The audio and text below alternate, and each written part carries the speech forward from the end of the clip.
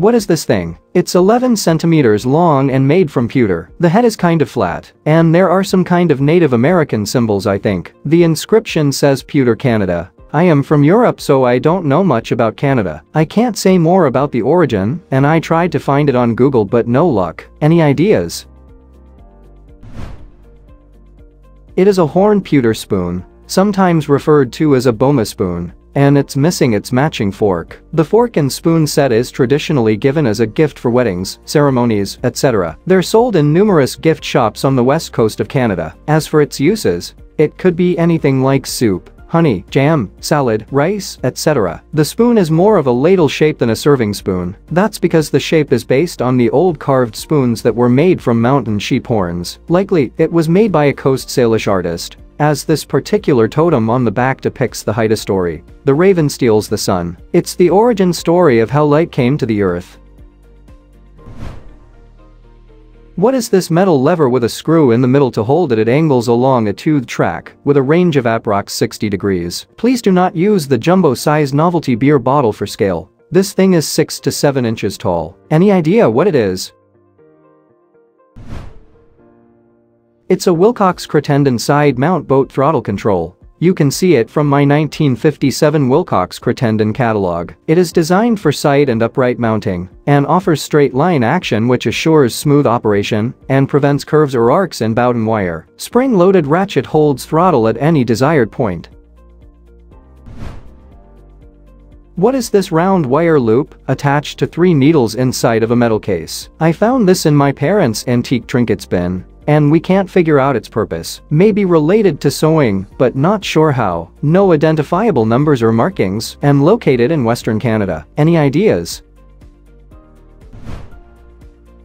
It's a case that contains three crochet hooks, possibly from the late 19th century. I think that the confusion is that it was maybe thought that it was not separate pieces. There's a hole at the bottom of the case to poke one of the needles out of when you're using it. The hook is maybe to attach to a needlework belt or maybe just to serve as a place to hold it to pick it up. What is this metal rack in the basement of an 1880s large Columbus, Ohio home? It looks like some kind of rack or holder for something, made of some kind of heavy wrought iron-like material and permanently attached to the floor. Height is about 12 to 18 inches. It's obviously dirty and corroded, but the material appears original to the house or nearly so, possibly something to do with gas lines for lighting. Any ideas? I believe this is a very early stand for a hot water tank from the 1890s. I have seen these with added glass tops, converted into underside tables. What are these continuous lines of what looks like a planned vegetation of some sort, in rows of four lines against the outskirts of Volgograd, Russia? My first thought was that it's the remains of the defensive lines from World War II. But those would be enormous. Then the second one was the bird gas lines, but why four in a row? Any ideas? These are parallel lines of a major shelter belt, also known as a windbreak, crossing the steppes of southern Russia near the Volga River. It's a 14-kilometer section of an extensive system of windbreaks planted to protect crops, and reduce the erosion of steppe soils by wind. The windbreak construction began when open steppe landscapes were first settled by Russian farmers in the early 1700s. At present, more than 2 million hectares or 5 million acres of the steppes have been planted. These protect individual fields from winds and associated gully erosion. The trees also protect water bodies from evaporation by the steady winds, and they prevent ponds and streams from filling with blown sand and silt. What is this metal box found in a 1920s bungalow kitchen? It is screwed into the kitchen wall of the house we are renting and located under a cupboard between the stove and the fridge. The age of the house seems like there would have been a wood-burning stove in the kitchen. What is it? It was a decorative holder for wooden matches. Back in the day you didn't have pilot lights and starters. You had to light the match and turn on the gas. We had one in my grandparents' cabin, What is this small brick structure on the site of rocks in Alapocas, Delaware? While hiking through the Alapocas Park, I noticed this small structure and I'm very curious about what it is and what it is for. Any ideas?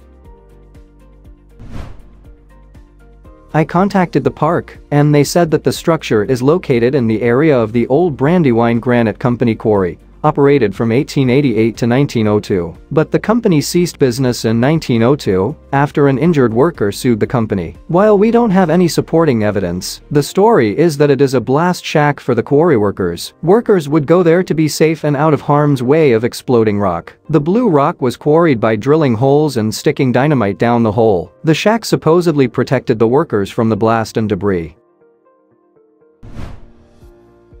What is this large wooden board with seemingly random numbers found in a coffee shop in Ireland? The squares don't seem to move, and about 1 meter by 1 meter. It looked very well handmade, with numbers routed in rather than painted. Googling wooden boards with numbers doesn't help much. It looked heavy. There didn't seem to be a stand for it around, possibly it's meant to be used flat. Is it some sort of a game or just a design? Please help.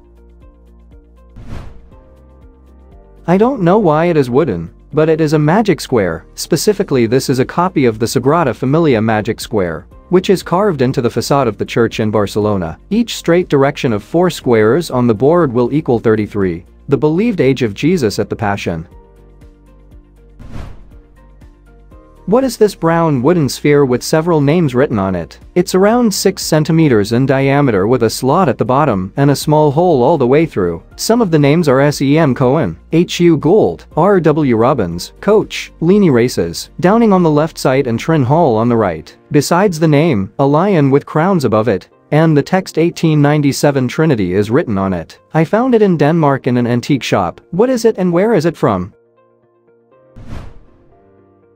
I think it says Lent races rather than Leany races, and it looks to be from a rowing event. Trinity College is part of Cambridge University. I believe it's something from the 1897 Lent races. I found an obituary for a Dr. H.U. Gould who attended Cambridge. He was a rower. The lion represents the royal patronage of Cambridge University. Downing is a college of Cambridge University and is known for medicine and law, and also, according to this site that happened during the 1888 Lent races. The third day was the occasion of a sad tragedy. The nose of the boat struck number 4 in the Clare boat just over his heart, killing him on the spot. The further races were at once stopped. Since this dreadful incident, small India rubber knobs have been fixed on the bows of all the racing boats. And another website refers to bow balls being introduced to the Lent races in 1887 due to a fatality, they're described as an India rubber ball. So after all, it really looks like it's a bow ball from a Lent race in 1897. What is this type of scissor I found in a home I bought? It has a round curved cutting edge, similar to garden loppers. I have searched small loppers and round cutting edge scissors extensively and reviewed the frequently searched items. I also searched for all types of scissors and have not seen anything similar. It was inside the leather case, and they are marked stainless Taiwan. Any ideas? It's a cigar cutter, but as an avid cigar smoker and for what it's worth, this is my least favorite tool for cutting cigars. What is this wall fixture with two bells, two faceplates with two dials and buttons, six arrows that appear to rotate, a red light, and a door. Located in the hallway of a home built in 1905 in Illinois. I cannot read the text on the object due to image quality. Any idea what it is? Please let us know in the comments. Thanks for watching. Let's make life fun.